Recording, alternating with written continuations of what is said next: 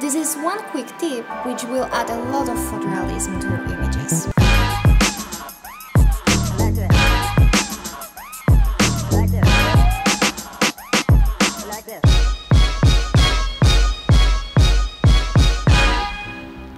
Imagine the edge of the wall, or some wooden element, or any object. In real life, these edges are not perfectly sharp. Even the sharpest edges are a bit rounded. Spend some time today on observing the objects in your house. Notice how edges are rounded on different type of materials. Let me show you how to do it in 3ds Max. There are two ways of doing it, hard and long and quick and easy. Let's start from the harder method so we are all on the same page. Here is my model. I want to chamfer its edges. Most people do it this way. Let's start with adding a chamfer modifier.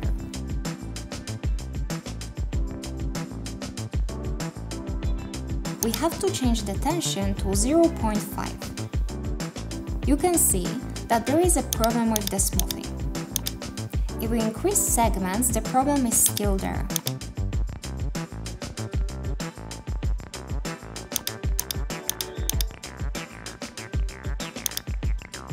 If we add a smooth modifier, we lose the smoothing on edges. It doesn't look good.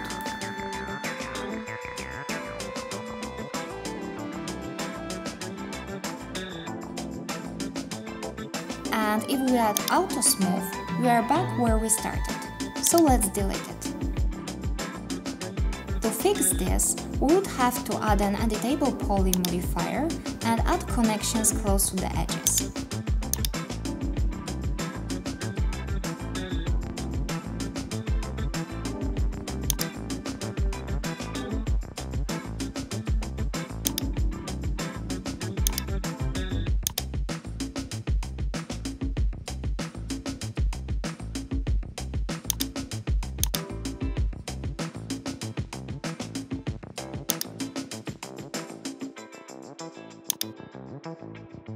You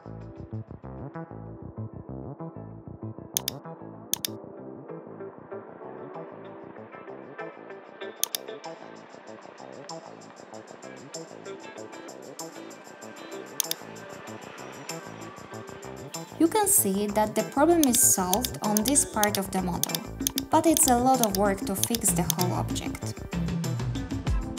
Let me show you my quick and easy method.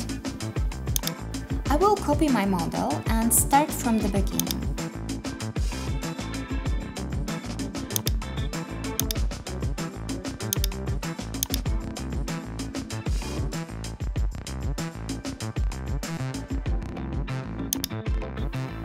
I will add a chamfer modifier like last time and adjust values.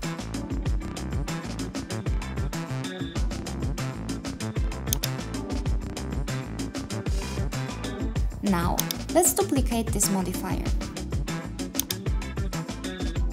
It doesn't look good yet, but wait for it. I will turn off the visibility of the top one and change the segments to 1. Now, look what will happen if I change the tension value to 0. We have the same result as if we make a connection using an editable poly modifier. Now, all we have to do is to adjust the amount of value and we are done. It's starting to look good at about 1.45 millimeters.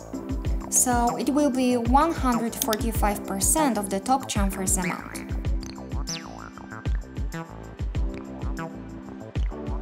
Smoothing is perfect.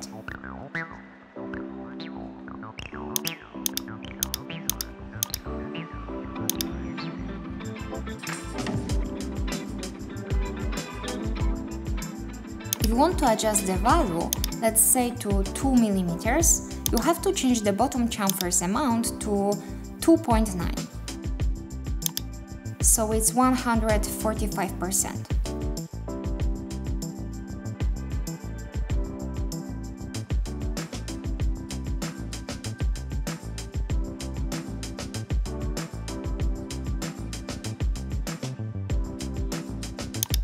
I will change it back.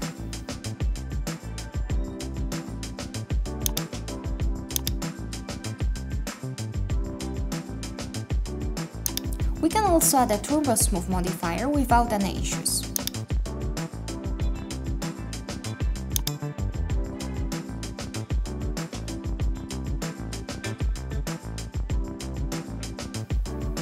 Let me show you one more thing.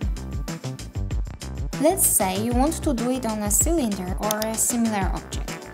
Let me copy all the modifiers to show you what's going on. As you can see, we have chamfered vertical edges. Let me show you how to fix this. We have to go to the chamfer modifiers and adjust the minimum angle. It is the angle on which the modifier starts working on the edge.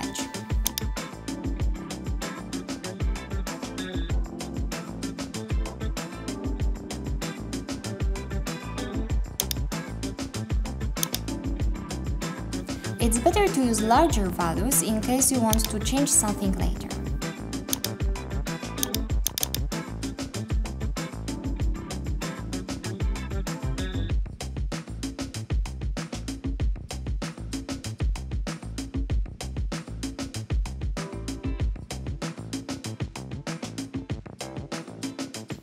In this case, up to 90 degrees is fine.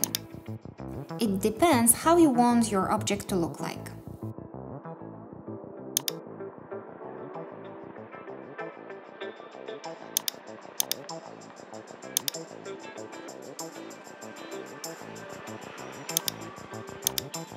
Lastly, we can adjust the Turbo Smooth modifier. On the objects like this, one iteration is not enough. If your scene gets too heavy, it's better to use render iterations instead.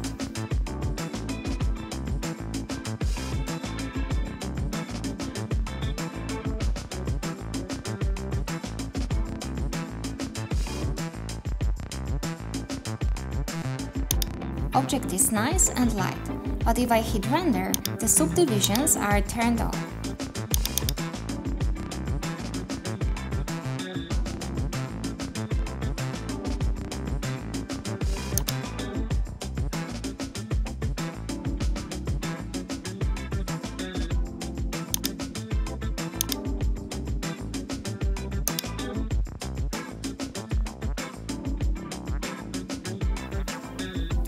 If you do it once, there is no need to do it again. I would make a script out of it. Here is how it works. You just have to select the model and click on the script.